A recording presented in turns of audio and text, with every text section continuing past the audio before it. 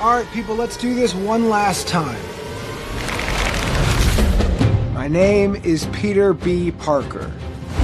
I was bitten by a radioactive spider, and for the last 22 years, I thought I was the one and only Spider Man. What a day. I'm pretty sure you know the rest.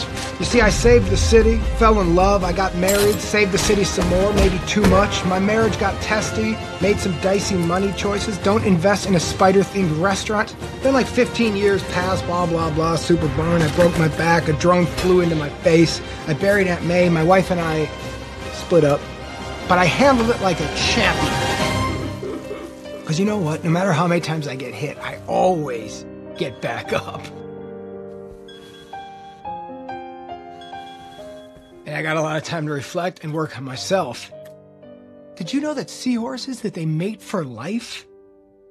Could you imagine a seahorse seeing another seahorse and then making it work?